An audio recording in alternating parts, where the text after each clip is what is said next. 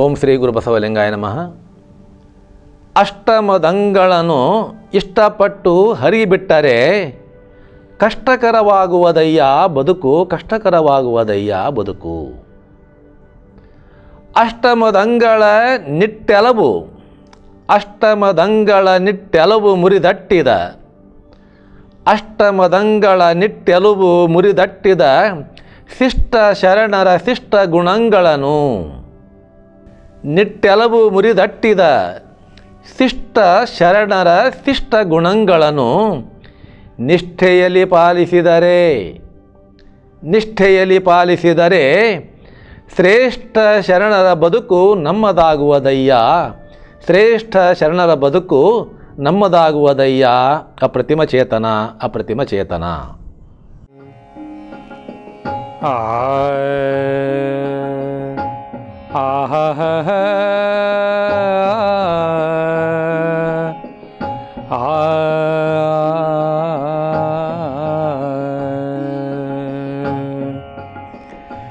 ಅಷ್ಟಮದಂಗಳನ್ನು ಇಷ್ಟಪಟ್ಟು ಹರಿಯಬಿಟ್ಟರೆ ಅಷ್ಟಮದಂಗಳನ್ನು ಇಷ್ಟಪಟ್ಟು ಹರಿಯ ಬಿಟ್ಟರೆ ಕಷ್ಟಕರವಾಗುವುದಯ್ಯ ನಮ್ಮ ಬದುಕು. ಕಷ್ಟಕರವಾಗುವುದಯ್ಯ ನಮ್ಮ ಬದುಕು.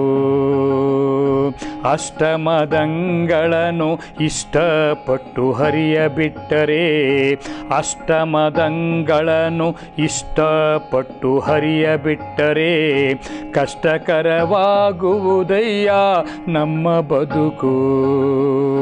ಕಷ್ಟಕರವಾಗುವುದಯ್ಯ ನಮ್ಮ ಬದುಕು.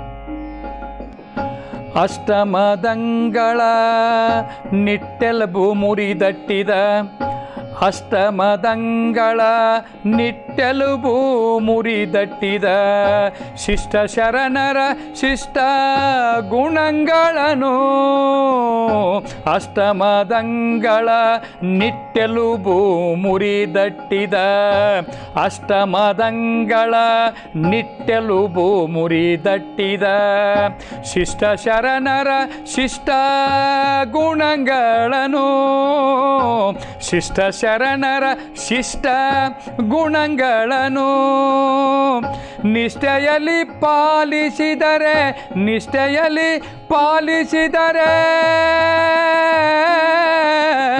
ನಿಷ್ಠೆಯಲ್ಲಿ ಪಾಲಿಸಿದರೆ ಶ್ರೇಷ್ಠ ಶರಣರ ಬದುಕು. ನಿಷ್ಠೆಯಲ್ಲಿ ಪಾಲಿಸಿದರೆ ಶ್ರೇಷ್ಠ ಶರಣರ ಬದುಕು.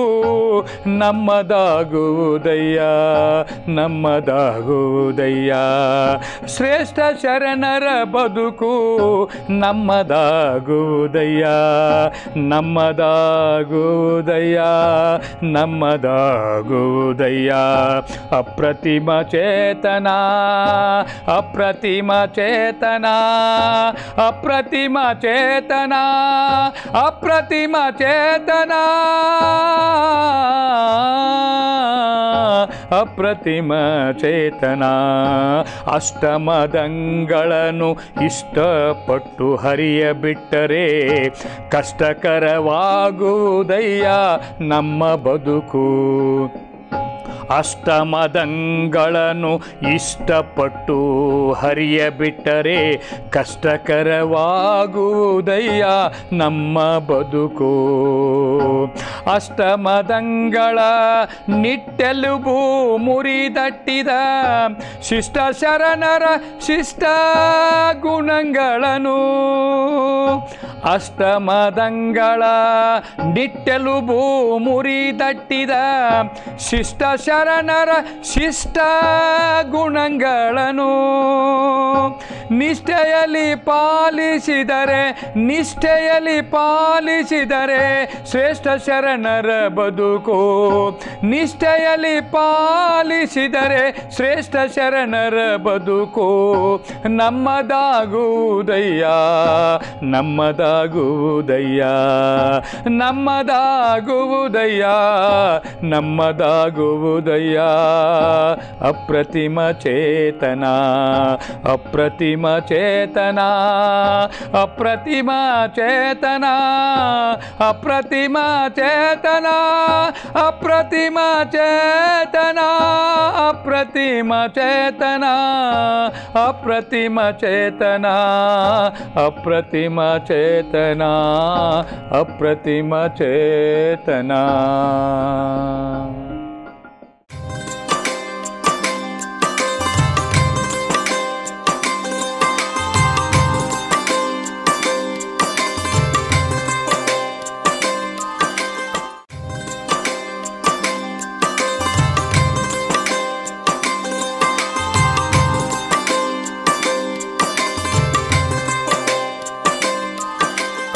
ಅಷ್ಟಮದಂಗಳನು. ಇಷ್ಟಪಟ್ಟು ಹರಿಯಬಿಟ್ಟರೆ ಕಷ್ಟಕರವಾಗುವುದಯ್ಯ ಬದುಕು. ಕಷ್ಟಕರವಾಗುವುದಯ್ಯ ಬದುಕು. ಈ ವಚನದ ಮೂಲಕವಾಗಿ ಮನುಷ್ಯನ ಬದುಕಿನಲ್ಲಿ ಯಾವ ರೀತಿ ನಾವಿರಬೇಕು? ಆ ಶರಣರು ಹೇಳಿದ ಮಾರ್ಗ ಯಾವುದು? ಆ ಶರಣರ ಗುಣಗಳಾವವು? ಈ ಬಗ್ಗೆ ನನ್ನ ತಿಳುವಳಿಕೆಯನ್ನು ಹಂಚಿಕೊಳ್ಳಿಕ್ಕೆ ನಾನು ಬಯಸ್ತಾ ಇದ್ದೇನೆ. ಅಷ್ಟಮದಂಗಳನು ಈ ಸೃಷ್ಟಿಯಲ್ಲಿ ಹುಟ್ಟಿದಂತಹ ಪ್ರತಿಯೊಂದು ಜೀವಿಯು ಬದುಕುತ್ತಿರುವಾಗ ಯಾವುದೇ ಜೀವಿ ಇರಲಿ ಅದು, ಒಂದು ಪ್ರಾಣಿ ಇರಲಿ, ಒಂದು ಪಕ್ಷಿ ಇರಲಿ, ಆ ಮನುಷ್ಯನೇ ಇರಲಿ, ಕಾಡು ಪ್ರಾಣಿಯೇ ಇರಲಿ, ಸಾತ್ವಿಕ ಪ್ರಾಣಿಯೇ ಇರಲಿ, ಸಿಟ್ಟು ಬಂದಾಗ, ಮದ ಬಂದಾಗ ಒಂದಕ್ಕೊಂದು ಹೊಡೆದಾಡುವಂತಹದ್ದು, ಬಿಡದಾಡುವಂತಹದ್ದು ಸರ್ವೇ ಸಾಮಾನ್ಯವಾದಂಥ ಮಾತು ಸರ್ವೇ ಸಾಮಾನ್ಯವಾದ ಸ್ವಭಾವ. ಅದು ಜೀವಿಗಳ ಕಾಯದ ಲಕ್ಷಣದಲ್ಲಿ ಒಂದು. ಆ ಮತದ ಮೂಲಕವಾಗಿ ನಾವು ನಮ್ಮ ಬದುಕನ್ನು ರೂಪಿಸಿಕೊಳ್ಳಲಿಕ್ಕೆ ಪ್ರಯತ್ನಪಟ್ಟರೆ ನಮ್ಮ ಬದುಕೇ ಕಷ್ಟಕರವಾಗುತ್ತದೆ ಕಷ್ಟಕರವಾಗುತ್ತದೆ. ಹಂಗಾರೆ ಇವು ಮದ ಇರಬಾರ್ದನ್ರಿ ಅಂತ ಕೇಳ್ಬೋದು ನೀವು ಸಹಜವಾಗಿ. ಅಂದರೆ ಮನುಷ್ಯನಿಗೆ ಅಭಿಮಾನವಿರಬೇಕು, ಸ್ವಾಭಿಮಾನವಿರಬೇಕು, ಆದರೆ ಮದವಿರಬಾರದು ಮದವಿರಬಾರದು. ಅದನ್ನು ಬಸವಣ್ಣವರು ಒಂದು ವಚನದ ಮೂಲಕವಾಗಿ ಬಹಳ ಸುಂದರವಾಗಿ ಹೇಳ್ತಿದ್ದಾರೆ ಹಾವು ತಿಂದವರ ನುಡಿಸಬಹುದು.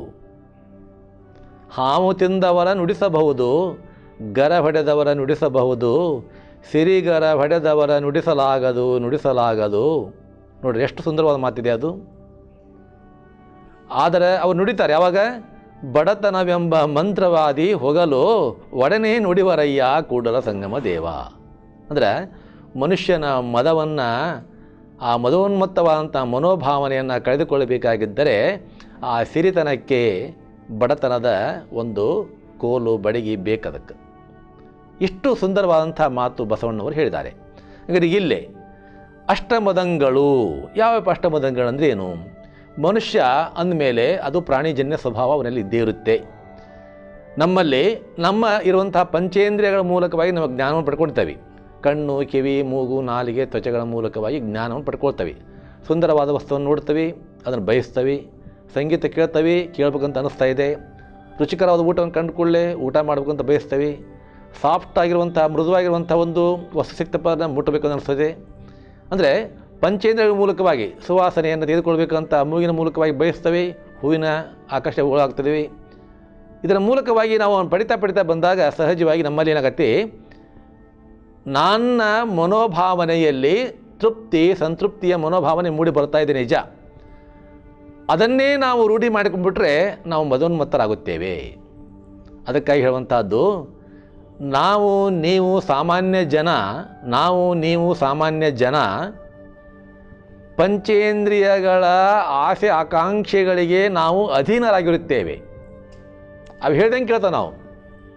ಏನಾದ್ರು ತಿನ್ಬೇಕಂತ ಬಯಸಿದ್ರೆ ತಿನ್ನಕ್ಕೆ ಹೋಕ್ಕವಿ ಸಂಗೀತ ಕೇಳಕ್ಕೆ ಹೋದ್ಕೊಳ್ಳಿ ಸಿನಿಮಾ ನೋಡಕ್ಕೆ ಹೋಗ್ತವೆ. ಅಂದರೆ ಈ ರೀತಿ ಆ ಪಂಚೇಂದ್ರಿಯಗಳು ಹೇಳ್ದಂಗೆ ಕೇಳ್ತವೆ. ಕಣ್ಣು ಚಲೋದು ನೋಡ್ತಪ್ಪ ಅಂತಂದ್ರೆ ಹರಿಯದಾಗಿದ್ದಾಗ ಒಂದು ಹುಡುಗಿ ಬೆನ್ನತ್ತಾರ ಒಂದು ಹುಡುಗಿ ಹುಡುಗನ ಬೆನ್ನತ್ತಿ ಅಂದರೆ ಇಲ್ಲಿ ಆ ಪಂಚೇಂದ್ರಿಯಗಳು ಹೇಳಿದಂತೆ ನಾವು ಕೇಳ್ತಾ ಇದ್ದೀವಿ, ಸಾಮಾನ್ಯರಲ್ಲಿ ಸಾಮಾನ್ಯರಾಗಿ ಉಳಿತೇವೆ. ಈ ಪಂಚೇಂದ್ರಿಯಗಳನ್ನು ತಹಬಂದಿಯಲ್ಲಿ, ಕಂಟ್ರೋಲ್ನಲ್ಲಿ, ಹಿಡಿತಲ್ಲಿ ಇಟ್ಕೊಳ್ಬೇಕಾಗಿದ್ದಪ್ಪರ ಅದು ಸಾಧ್ಯವಿದೆ ಮನುಷ್ಯನಿಗೆ. ಹಾಗಾದ್ರೆ ಇಲ್ಲಿ ಇದು ಸಾಧ್ಯವಾಗಬೇಕಾಗಿದ್ದರೆ ನಾವು ಪಂಚೇಂದ್ರಿಯಗಳನ್ನು ನಮ್ಮ ಅಧೀನದಲ್ಲಿ ಇಟ್ಕೊಳ್ಬೇಕು. ನೋಡಿ ಹೇಗಿದೆ ಅದು? ಕಣ್ಣು, ಕಿವಿ, ಮೂಗು, ನಾಲಿಗೆ, ತ್ವಚೆಗಳು ಹೇಳ್ದಂಗೆ ಕೇಳಿದಪ್ಪಾರ ಹಾಳಾಗಿ ಹೋಗಾರ ಆ ಪಂಚೇಂದ್ರಿಯಗಳ ಬೇಡಿಕೆಗಳನ್ನು, ಆಸೆ, ಆಕಾಂಕ್ಷೆಗಳನ್ನು ನಮ್ಮ ಹಿಡಿತಲ್ಲಿ ಇಟ್ಕೊಂಡ್ರೆ ನಾವು ಶರಣ ಮಾರ್ಗದಲ್ಲಿ ನಡೀಲಿಕ್ಕೆ ಅವಕಾಶ ದೊರೆಯುತ್ತದೆ. ಅದೇ ರೀತಿಯಾಗಿ ಅರಿಷಡ್ವರ್ಗಗಳು ಕಾಮ, ಕ್ರೋಧ, ಲೋಭ, ಮೋಹ, ಮದ ಮಸ್ತರಗಳು ಸಹಿತ ನಾವು ಹೊರಗೆ ಬಿಟ್ಬಿಟ್ಟಪ್ಪಾರ ನಾವು ಮನುಷ್ಯ ಬದುಕು ಹಾಳಾಗಿ ಹೋಗ್ತಾ ಇದೆ. ಪ್ರಾಣಿಜನ್ಯ ಸ್ವಭಾವ ಆಗುತ್ತದೆ ಪ್ರಾಣಿಗಳ ಬದುಕಾಗುತ್ತದೆ, ಪಶುಗಳ ಬದುಕಾಗುತ್ತದೆ, ಆ ಅರಿಷಡ್ವರ್ಗಗಳು ನಮ್ಮನ್ನು ಹಾಳು ಮಾಡ್ತಾವು. ಇನ್ನು ಅದರಾಗ ಸ್ವಲ್ಪ ಮುಂದೆ ಹೋಗೋದಾಗ ಮದಂಗಳು ಬರೆದಿದ್ದಾವು ಮನುಷ್ಯನಲ್ಲಿ ಅಂತರಂಗದಲ್ಲಿದ್ದಾವು ಅಷ್ಟಮದಂಗಳು ಅಂಥೇಳಿ ನಮ್ಮ ತಾತ್ವಿಕರು ಹೇಳಿದ ಮಾತಿವು. ಅಷ್ಟಮದಂಗಳು ಯಾವುವು? ಧನಮದ, ಕುಲಮದ, ವಿದ್ಯಾಮದ, ರೂಪಮದ ಯೌವನ ಮದ ಪರಿವಾರ ಮದ, ಅಧಿಕಾರ ಮದ. ಒಟ್ಟು ಎಂಟು ಈ ಮದಗಳು. ಹಳ್ಳಿಯೊಳಗೆ ನೀವೆಲ್ಲ ಹೇಳಿ ಕೇಳಬಹುದು ಆ ಹುಡುಗ ಮದ ಬಂದರೆ ಆನಿ ಮದ ಬಂದಂಗೆ ನೋಡ್ರಿ ಅಂತ ಇರ್ತಾರೆ ಆ ಹುಡುಗ ಹರಿಯ ಹುಡುಗ ಮದ ಬಂತಪ್ಪ ಆನಿ ಮದ ಬಂದಂಗೆ ಬರೋದು ನೋಡಿ ಅವಾಗ. ಅವಾಗ ಅಂಕುಶ ಆಗಬೇಕು. ಅಷ್ಟೇ ಅಲ್ಲ, ಆ ಹುಡುಗ ಹರಿಯದ ಇಪ್ಪತ್ತೈದು, ಇಪ್ಪತ್ತಾರು ವರ್ಷ ಆತಪ್ಪಾರ ಎಲ್ಲಿ ಬೇಕಲ್ಲಿ ಬೇಲಿ ಹರಕತ್ತಿದ್ದಪ್ಪಾರ ಅವಾಗೊಂದು ಗುದ್ದಿ ಕಟ್ಟ್ರಿ ಅಂತಾರೆ ಹಳ್ಳ್ಯಾಗ. ಹಳ್ಳಿ ಮಾತು ಭಾಳ ಸಮರ್ಪಕರಿ ಅವು. ಹಸಿ ಗೋಡಿಯಲ್ಲಿ ಹಳ್ಳಿಟ್ಟಂಗೆ ಇರ್ತಾವೆ ಅಷ್ಟು ಅನುಭವದ ಮಾತುಗಳವು. ಅವ ಎಲ್ಲೆಲ್ಲಿ ತಿರುಗಾಕತ್ತಪ್ಪ ಅಂದರೆ, ಅವಂಗೆ ಮೊದಲು ಒಂದು ಗುದ್ದಿ ಕಟ್ಟ್ರಿ ಅಂತ ಗುದ್ದಿ ಕಟ್ಟಿದ್ರೆ ಏನು? ಲಗ್ನ ಮಾಡಿರಿ ಅಂತ ಹೇಳಿದಂಥ ಮಾತು. ಹಾಗಿಲ್ಲೇ ಈ ಮದಗಳೇನು ಮಾಡ್ತಾವಲ್ಲ, ಈ ಮನುಷ್ಯನನ್ನು ನಾವು ಹರಿಬಿಟ್ಟರೆ ಬದುಕನ್ನೇ ಹಾಳು ಮಾಡ್ತಿದ್ದಾವು ಅದಕ್ಕೆ ನಾನು ಅಷ್ಟ ಅಷ್ಟಮದಂಗಳನ್ನು ಇಷ್ಟಪಟ್ಟು ಧನ ಮದ ಸಿರಿವಂತಿಗೆ ಮದ, ನಮ್ಮ ಅಪ್ಪ ಐವತ್ತು ಎಕರೆ ಹೊಲ ಮಾಡಿದಾನ ಬೇಕಾದಂಗೆ ಮನ್ಯಾಗ ಈ ಬೆಳ್ಳಿ, ಬಂಗಾರ, ಮುತ್ತು, ರತ್ನ ಎಲ್ಲ ಅದಾವು. ದೊಡ್ಡ ಬಂಗಲೆ ಐತಿ, ಕಾರ್ ಐತಿ, ಎಲ್ಲ ಅದಾವು. ಆ ಧನ, ಸಂಪತ್ತು ಆ ಮನುಷ್ಯನನ್ನು ಅಹಂಭಾವಿಯನ್ನಾಗಿ ಮಾಡ್ತಾ ಇದೆ. ದುಡಿದು ಮಾಡಿದ್ರೆ ಮದ ಇರೋದಿಲ್ಲ. ದುಡಿದಂಗೆ ಬಂದುಬಿಟ್ರೆ ಮತ್ತಷ್ಟು ಮದ ಬರೋದಿದ್ದಾವೆ ಇವು. ಅದಕ್ಕಾಗಿ ಹೇಳ್ತಾರೆ ನೋಡ್ರಿ. ಶ್ರೀಮಂತ ಹುಡುಗರು ದೌಡ್ ಭಾಳ ಹಾಳಾಗ್ತಾರಂತೆ. ಯಾಕಂದ್ರೆ ಅವರಿಗೆ ದುಡಿಮೆಯ ಪ್ರಜ್ಞೆ ಇರೋದಿಲ್ಲ. ಹಣ ಆಪ್ ಕೊಡ್ತಾನ, ಮಗ ಖರ್ಚು ಮನೆ ಕೇಳ್ತಾರ, ಕೊಡ್ತಾರ. ಹೀಗಾಗಿ ಆ ಅನೇಕ ಹವ್ಯಾಸಗಳಿಗೆ ಆ ಹುಡುಗರು ಬಿದ್ದು ಬಿಡ್ತಾವೆ.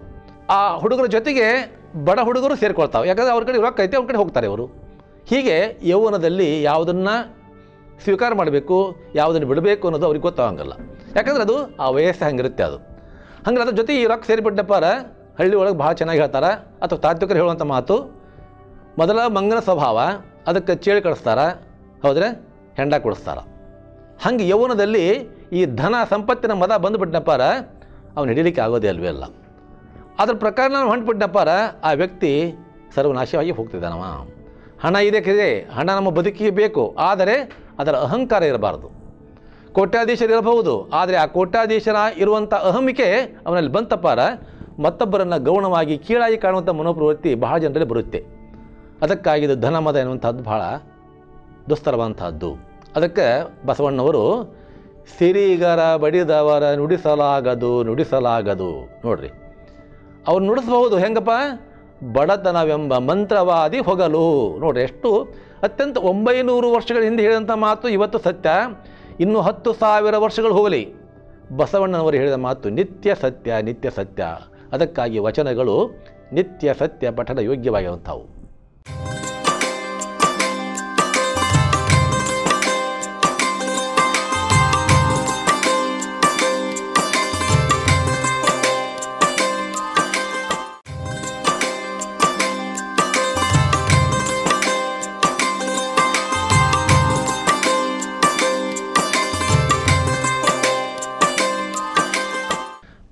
ಬೇರೆಯವರಿಂದ ನಾನು ಮೇಲು ನಾನು ಮೇಲು ನಾನು ಮೇಲು.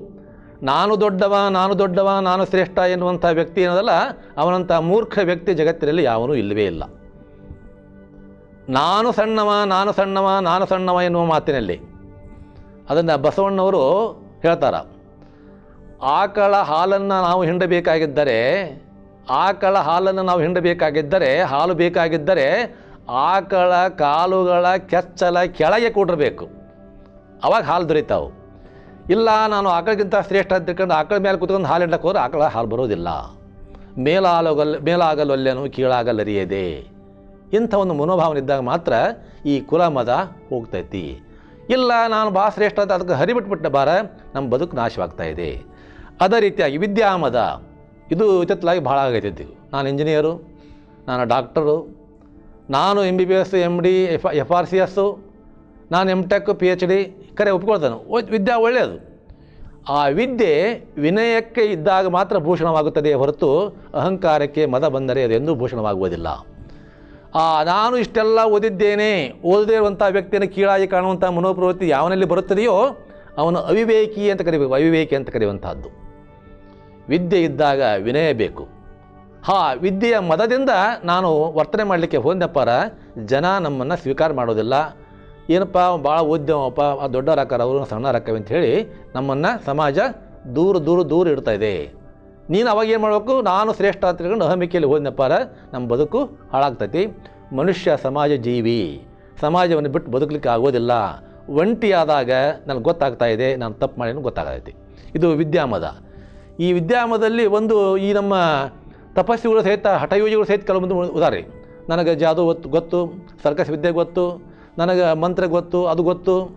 ಒಂದು ಸಣ್ಣ ಉದಾಹರಣೆ ಕೊಡ್ತಾನೆ ಇಲ್ಲಿ. ಒಬ್ಬ ಹಠಯೋಗಿ ಇದ್ದ. ಒಬ್ಬ ಹಠಯೋಗಿ ಸಾಧನೆ ಮಾಡಿ ಮಾಡಿ ಮಾಡಿ ಮಾಡಿ ನೀರ ಮೇಲೆ ನಡೆಯುವುದನ್ನು ಕಲ್ತಾವ. ನೀರಿನ ಮೇಲೆ ನಡೆಯುವಂಥದ್ದು ನಾವು ನೀವೆಲ್ಲ ನೆಲದ ಮೇಲೆ ಅಡ್ಡಾಡ್ತೀವಿ ಅವ ಜಲದ ಮೇಲೆ ಅಲೆದಾಡುವುದನ್ನು, ನಡೆದಾಡುವುದನ್ನು ಕಲ್ಕೊಂಡು ಬಟ್ಟ. ಜಲದ ಮೇಲೆ ನಡೆದಾಡುವುದನ್ನು ಕಂಡಾಗ ಜನರಿಗೆಲ್ಲರಿಗೂ ಆಶ್ಚರ್ಯ ಆಯ್ತದು. ಅದು ಇಂಥ ವಿದ್ಯೆ ಕಲ್ತ ನಲ್ಪೈ ಬಹಳ ಶ್ರೇಷ್ಠ ಆಗ್ಬಿಟ್ಟು ನಲ್ಪ ಅಂತ ಹೇಳಿ. ಅವಾಗ ಆ ವಿದ್ಯೆಯಿಂದ ಅಹಂಕಾರ ಶುರುವಾಯಿತು, ಮದ ಶುರುವಾಯಿತು. ಅದಕ್ಕಿಂತ ಒಬ್ಬ ಶ್ರೇಷ್ಠ ಯೋಗಿ ಹೋಗ್ತಾ ಇದ್ದ. ನೀವು ದಾರ್ಯಾಗ ಕಂಡ. ಏನಪ್ಪ, ಏನು ಸಾಧನೆ ಮಾಡಿದಿ? ಏನು ರೀ ಸಣ್ಣ ಜೀವನ ಪರ್ಯಂತ ನಾನು ಸಾಧನೆ ಮಾಡಿದ್ದೇನೆ ನೀರ ಮೇಲೆ ನಾನು ನಡೆಯೋದನ್ನು ಕಲಿತಿದ್ದೇನೆ. ನಿಮ್ಗೆ ಬರೋದನು ಏ, ನನಗೆ ಬರಂಗಿಲ್ಲಪ್ಪ ಅಂತ ಅಂದವ ಜ್ಞಾನಿಯಾದ ಯೋಗಿ ನನಗೆ ಬರಂಗಿಲ್ಲ ಅಂದ್ರೆ.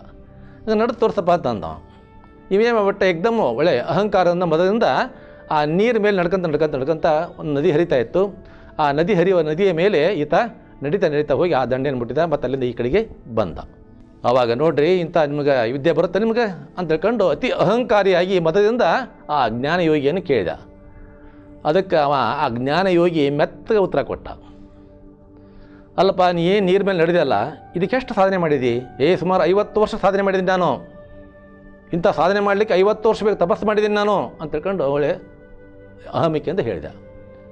ಬಾಯಿಲಿ ಅಂತ ಕರೆದ್ರು ಅವನು. ಅಲ್ಲಿ ಡೋಣಿದೆ ಇಲ್ಲಿ? ಒಂದು ಡೋಣಿದೆ ನದಿ ದಾಟಲಿಕ್ಕೆ ಐವತ್ತು ಪೈಸೆ ಕೊಟ್ಟರೆ ಆ ಕಡೆ ಕರ್ಕೊಂಡು ಹೋಗ್ತಾನವ ಆ ಐವತ್ತು ಪೈಸೆ ಕೊಟ್ಟರೆ ಮತ್ತೆ ಈ ಕಡೆ ಕರ್ಕೊಂಬರ್ತಾನವ ಆಗ ನಿನ್ನ ಸಾಧನೆ ಕಿಮ್ಮತ್ತು ಐವತ್ತು ಪೈಸೆ ಅಷ್ಟೇ. ನೋಡಿ ಹೇಗಿದೆ ಅದು. ಅಂದರೆ ವಿದ್ಯಾಮದ ನೀನು ನೀರ ಮೇಲೆ ಕಲಿತ ವಿದ್ಯೆಯ ಕಿಮ್ಮತ್ತು ಐವತ್ತು ಪೈಸೆ ಅಷ್ಟೇ. ಒಬ್ಬ ಅಂಬಿಗ ನಿನ್ನನ್ನು ನದಿಯಿಂದ ಆದಡಿಗೆ ದಾಟಿಸ್ತಾನವ ಕೇವಲ ಐವತ್ತು ಪೈಸೆ ಕೊಟ್ಟರೆ ಸಾಕು.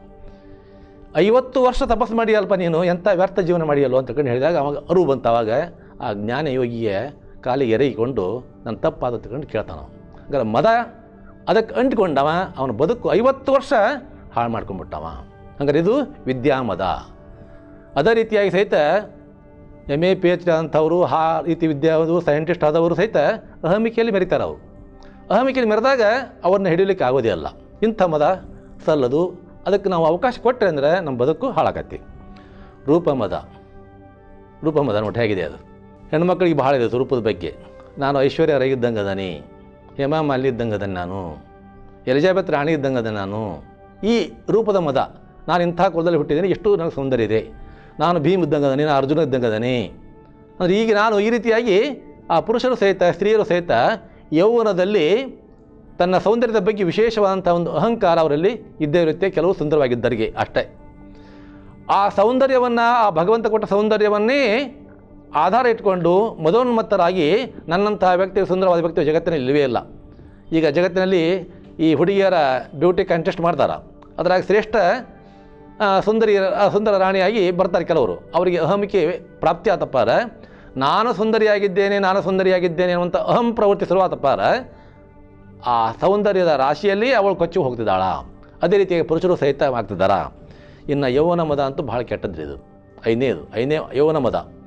ವಯಸ್ಸು ಬಂತಪ್ಪ ಅಂದ್ರೆ ಮೀಸು ಬರಕ್ಕೆ ಹತ್ತಿದಪ್ಪ ಅಂದ್ರೆ ದೇಶ ಕಾಣಂಗಿಲ್ಲಂತ. ಮೀಸು ಬರಕ್ಕೆ ಹತ್ತಿದಪ್ಪ ಅಂದ್ರೆ ದೇಶ ಕಾಣಂಗಿಲ್ಲ ಹುಡುಗ. ಹಂಗೆ ಅದೇ ರೀತಿ ಹುಡುಗಿರು ಸಹಿತ ಅದೇ ರೀತಿ ಆಗ್ಬಿಡುತ್ತೆ. ಅವ್ರಿಗೆ ಮೀಸು ಬರಂಗಿಲ್ಲ ಅಷ್ಟೇ. ಬೇರೆ ಬರ್ತಾವೆ. ಹಂಗಾರೆ ಇಲ್ಲೇ ಅವು ಬಂದು ಬಂದ ತಕ್ಷಣ ಇವರಿಗೆ ಮಂಗನಿಗೆ ಹೆಂಡ ಕುಡಿಸ್ದಂಗಾಗತ್ತೆ ಆ ಯೌವನ ಕೇವಲ ಹತ್ತಿಪ್ಪತ್ತು ವರ್ಷ ಅಷ್ಟೇ, ಹತ್ತಾರು ವರ್ಷ ಅಷ್ಟೇ ಅದು ಇಪ್ಪತ್ತನ್ನು ತಪ್ಪು ಮಾತಿನ್ನು, ಹತ್ತಾರು ವರ್ಷ ಅಷ್ಟೇ ಅದು. ಆ ಯೌವನದಲ್ಲಿ ನನ್ನಂಥ ಯುವಕ, ನನ್ನಂಥ ಯುವತಿ ಜಗತ್ತಿನಲ್ಲಿ ಯಾರೂ ಇಲ್ಲವೇ ಇಲ್ಲ. ಈ ಯುವ ಶಕ್ತಿಯ ಮೂಲಕವಾಗಿ ತನ್ನ ಒಂದು ಅಹಂ ಪ್ರವೃತ್ತಿಯನ್ನು ಬೆಳೆಸ್ತಾ ಹೋಗ್ತಾನೆ ನಿಂತಲ್ಲಿ ನಿಲ್ಲಂಗಿಲ್ಲ, ಕುಂತಲ್ಲಿ ಕುಂಡಂಗಿಲ್ಲ, ಏನು ಬೇಕಾದ ಎಲ್ಲವನ್ನು ಹವ್ಯಾಸ ಮಾಡಿಕೊಡ್ತಾನೆ. ಆ ಯೌವನ ಮದದಲ್ಲಿ ಅವನು ಒಳ್ಳೆಯ ದಾರಿಯಲ್ಲಿ ಹೋದರೆ ಒಳ್ಳೆಯದು, ಕೆಟ್ಟ ದಾರಿ ಹಿಡಿದು ಬಿಟ್ಟರೆ ಮುಗಿದೋಯ್ತು.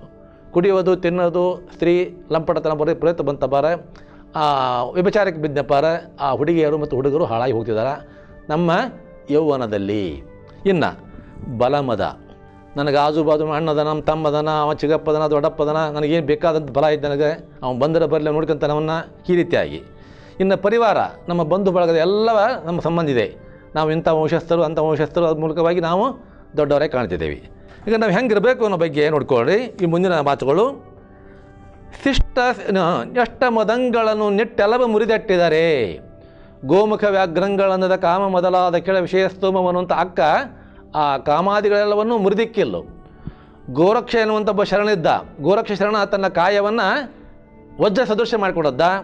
ಅದಕ್ಕೆ ಪ್ರಭುದೇವ ಬಂದು ಕಾಯ ಬಲಿದೊಡೆ ಮಾಯೆ ಬಲಿಯುವುದು ಮಾಯೆ ಬಲಿದರೆ ಛಾಯೆ ಬಲಿಯುವುದು ಮಾಯೆ ಛಾಯೆ ಬಲಿದವರು ಸಿದ್ಧರವರಲ್ಲ ಎಂದು ತಿಳ್ಕೊಂಡು ಹೇಳಿದಾಗ ಆ ಗೋರಕ್ಷ ತನ್ನ ವಜ್ರ ದೇಹವನ್ನು ಏನು ವಜ್ರ ದೇಹ ಅದರ ಅದ್ರ ಬಗ್ಗೆ ಮದ ಇತ್ತು, ಅದನ್ನೆಲ್ಲ ಕಳ್ಕೊಂಡ.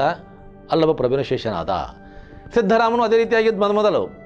ಆತ ಗೋಡೆ, ಕೆರೆ ಕಟ್ಸೋದು, ಗುಡಿ ಕಟ್ಸೋದು, ಈ ರೀತಿಯಾಗಿ ನಾನು ಇಷ್ಟೆಲ್ಲ ಜನರಿಗೆ ಸೇವೆ ಮಾಡಿದ್ದೀನಿ, ಇಷ್ಟೆಲ್ಲ ಜನರಿಗೆ ಸೇವೆ ಮಾಡಿದೆ ಅಂತಕೊಂಡು ಹೇಳಿ ಅವನು ಅಹಂಕಾರಿಯಾಗಿದ್ದ. ಅದಕ್ಕೆ ಅಲ್ಲವ ಪ್ರಭು ಹೋಗಿ, ಚಿಕ್ಕ ಸಂಸಾರವನ್ನು ಸಡಿಲಿಸಿ ಹೊಕ್ಕನಲ್ಲ, ಹಿರಿಯ ಸಂಸಾರ ಕಕ್ಕಟ ವಿಖ್ಯಾತಿ ಲಾಭದಿಚ್ಛೆಯಲಿ ಅಂತ ಹೇಳಿದ ತಕ್ಷಣ ಸಿದ್ದರಾಮ ಗೊತ್ತಾಯಿತು, ಅಲ್ಲೋ ಪ್ರಭುಗೆ ಶರಣಾಗತನಾದ ಚನ್ನಬಸವನ ಹತ್ರ ಬಂದು ದೀಕ್ಷೆ ಪಡ್ಕೊಂಡ. ಹೀಗೆ ಶರಣರು ಸಹಿತ ಕೆಲವು ಸಲ ಅಹಂಕಾರವಾಗಿ ಬರೋದು ಉಂಟು. ಆದರೆ ಅವನ್ನ ಮುರಿದು ಅಟ್ಟಬೇಕು, ಮುರಿದು ಇಕ್ಕಬೇಕು, ಕಾಲಲ್ಲಿ ಹಾಕಿ ತುಳಿಯಬೇಕು.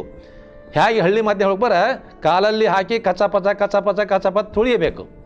ಆವಾಗ ನಾವು ಅಷ್ಟಮದಂಗಳನ್ನು ಬಿಟ್ಟುಕೊಟ್ಟನಪ್ಪಾರ ಶಿಷ್ಟ ಶರಣರ ಶಿಷ್ಟ ಗುಣಗಳನ್ನು ನಿಷ್ಠೆಯಲ್ಲಿ ಪಾಲಿಸಿದರೆ ಶ್ರೇಷ್ಠ ಶರಣರಾಗುವರಯ್ಯ. ಶರಣರು ಅಂದರೆ ನಡೆಸುಚಿ ನುಡಿಸುಚಿ ತನಸುಚಿ ಮನಸುಚಿ ಭಾವಸುಚಿ ಉಪಮಾತೀತರು, ಅನುಪಮಶೀಲರು. ಕಾಲಕರ್ಮರಹಿತರು, ಭವವಿರಹಿತರು, ನಮ್ಮ ಕೂಡಲ ಸಂಗನ ಶರಣರು. ಅಂದರೆ ಸಾತ್ವಿಕ ಗುಣಗಳನ್ನು ತಾಮಸ ಗುಣವನ್ನು ಕಳೆದುಕೊಂಡು, ರಾಜಸ ಗುಣವನ್ನು ಕಳೆದುಕೊಂಡು ಸಾತ್ವಿಕ ಗುಣಗಳ ಮೂಲಕವಾಗಿ, ಕುರುವಿನ ಮೂಲಕವಾಗಿ ಅರಿವನ್ನು ಪಡೆದುಕೊಳ್ಳುವಂತಹದ್ದು, ಆ ಅರಿವಿನ ಮೂಲಕವಾಗಿ ಅಂತಃಸಾಕ್ಷಿ ಪ್ರಜ್ಞೆಯ ಮೂಲಕವಾಗಿ ನಡೆದುಕೊಳ್ಳುವಂತಹದ್ದು ನಡೆನುಡಿ ಏಕವಾಗಿರುವಂತಹವರು ಶರಣರು. ಅಂಥ ಶರಣ ಸದೃಶರ ಯಾರು ಪಂಚೇಂದ್ರಿಯಗಳನ್ನು ತಮ್ಮ ಅಧೀನದಲ್ಲಿ ಇಟ್ಟುಕೊಳ್ಳುತ್ತಾರೋ ಅವರು ಶರಣರು. ಯಾರು ಅರಿಷಡ್ವರ್ಗಗಳನ್ನು ಮುರಿದು ಇಕ್ಕುತ್ತಾರೋ ಅವರು ಶರಣರು. ಯಾರು ಅಷ್ಟಮದಂಗಗಳನ್ನು ಮುರಿದು ಅಟ್ಟುತ್ತಾರೆಯೋ ಅವರು ಶರಣರು. ಅಂಥ ಬಸವಾದಿ ಶರಣರ ಮನೋಭಾವನೆಗಳನ್ನು, ನಡೆನುಡಿಗಳನ್ನು ನಮ್ಮ ಬದುಕಿನಲ್ಲಿ ಈ ಮದಗಳೆಲ್ಲವನ್ನೂ ಅಟ್ಟಿ ಮುಟ್ಟಿ, ಅಟ್ಟಿ ಆ ಶರಣರ ಮಾರ್ಗದಲ್ಲಿ ಮುನ್ನಡೆದರೆ ನಾವು ಸಹಿತ ಶರಣ ಸದೃಶವಾದ ಬದುಕನ್ನು ನಡೆಸಬಹುದು.